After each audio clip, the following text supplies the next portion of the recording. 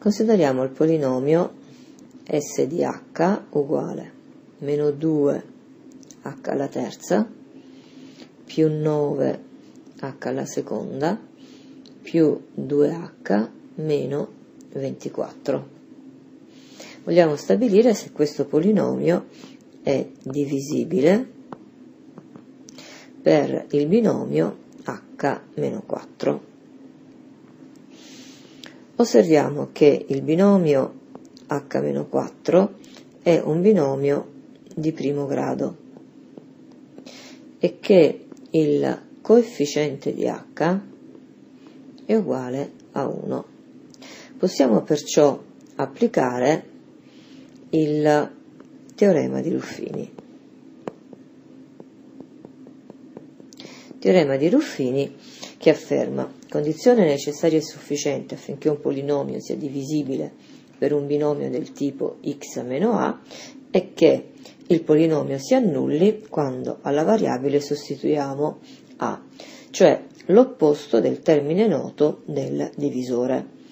Ora, il termine noto del divisore è meno 4 e l'opposto di meno 4 è uguale a 4.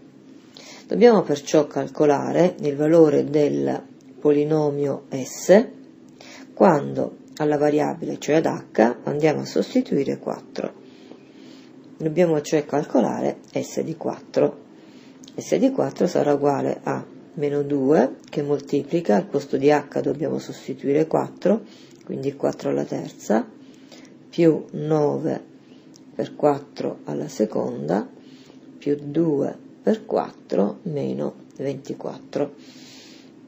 Calcoliamo le potenze e otteniamo meno 2 per 64 più 9 per 16 più 8 meno 24 e questo sarà uguale a meno 2 per 64 è meno 128 più 9 per 16 fa più 144 più 8 meno 24 e questo è uguale a ora meno 128 più 144 fa più 16 più 16 più 8 è più 24 più 24 meno 24 è uguale a 0 quindi in definitiva abbiamo ottenuto che s di 4 è uguale a 0 e quindi vuol dire che il polinomio s di h è divisibile per